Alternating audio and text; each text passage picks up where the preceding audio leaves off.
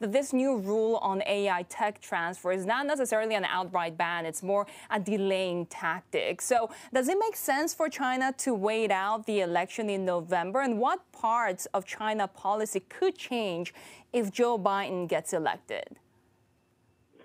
So I think I don't know that I agree that it's simply a delaying tactic. Actually, I think you know China is looking at um, a United States policy that's increasingly restrictive when it comes to um, commercial engagement, especially on the tech front.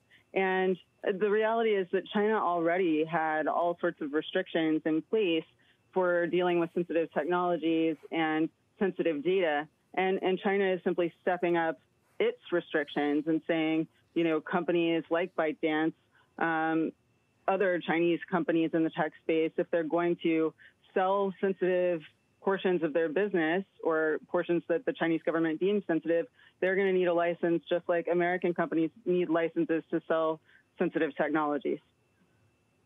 For uh, companies in your organization, does it make sense right now the pain that they have to go through the U.S. China tensions if in the long run it will lead to a more level and fair playing field?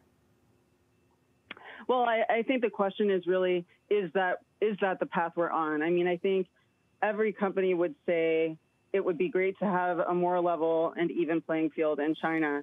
Um, and in some in some areas, in some industry sectors, we have seen some significant improvements, especially financial services, and part of that is a result of the phase one deal. But what's happening right now with, with the WeChat order, especially, I think most companies would say this doesn't feel like a path towards a more level playing field. This feels like um, a movement that could severely hobble U.S. companies' business in China in the immediate term, um, if it, depending on how it is um, interpreted and applied. If it's applied in the China market to U.S. companies operating there and to U.S. persons there, uh, it could be really debilitating for U.S. companies, and that that doesn't lead to a more even playing field. It just leads to U.S. companies being squeezed out of the market.